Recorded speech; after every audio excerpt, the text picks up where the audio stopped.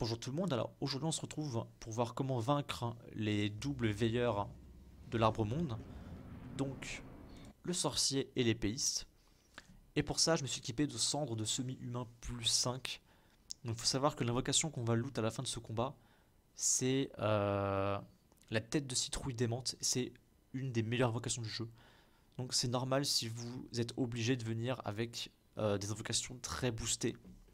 En l'occurrence, franchement, plus 4 minimum. Hein. Soit les loups, soit les semi-humains.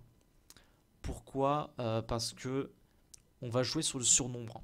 En fait, ce que l'épéiste, euh, bah, il donne des coups d'épée, il donne pas des, gros coups de marteau, enfin il fait pas des dégâts de zone quoi. Et du coup, pour tuer tous nos semi-humains ou vos loups, il va avoir plus de mal. Et donc c'est très intéressant. on les invoque directement, on n'est pas en danger en rentrant dans la salle. Et on va focus dans un premier temps l'épéiste.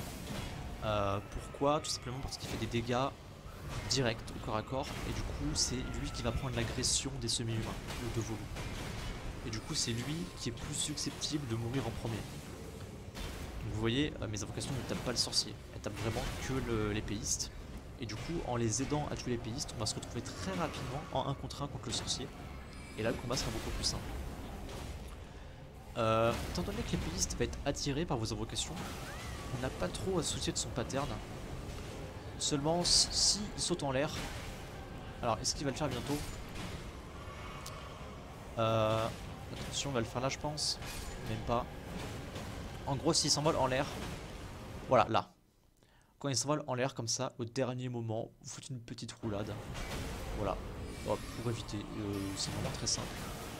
Et étant donné que vous n'avez pas l'agression euh, du boss, pouvez un, peu bourriner le plus vite possible, le plus vite possible avant que vos invocations ne meurent. C'est vraiment très important. Euh, il faut pas perdre de temps, il faut faire le plus vite possible. Et là, voilà. Si vous avez vu, mes invocations sont mortes alors qu'il y avait encore deux boss. Mais le boss était presque mort. Voilà, là elles sont mortes et voilà, je finis le boss, je retrouve un contre 1. Sachant que mes invocations sont plus 5. Et malgré tout, ça a été assez compliqué. Hein. Elles sont mortes pile à la fin. Et donc là, le pattern, il est un peu pareil. Quand il s'envole, le sorcier, une roulade pour éviter. Bon là il était loin donc euh, c'était pas un souci. Euh, on essaie de faire des roulades pour éviter ses coups de bâton euh, au corps à corps. Et on lui tourne autour. Alors, je vous recommande de faire des attaques sautées, regardez. Normalement, voilà, hop, je saute pour rester dans son dos en fait. Parce qu'en sautant, je gagne en mobilité tout en tapant. Et du coup je spam les attaques sautées pour essayer de tourner autour de lui tout en tapant. Bon là il y a... J'étais plutôt de face parce que les, combats se passent pas toujours comme on le veut. Hein. Mais voilà, essayer de faire des attaques sautées pour tourner dans son dos tout le temps. Et surtout que les attaques sautées sont, plus, beaucoup de dégâts. Et regardez là le boss il va être étourdi au bout d'un moment. Vous vous placez en face de lui et vous visez son cœur qui brille là. Et il va prendre énormément de dégâts. Ah, de toute façon à ce stade là du combat, euh, le combat est plutôt simple. Voilà, là il crache des flammes. Euh, vous restez dans le dos. Bon, là j'ai pris une attaque parce qu'en gros, j'ai fait une attaque sautée. Et hop, il a subi aucun dégât.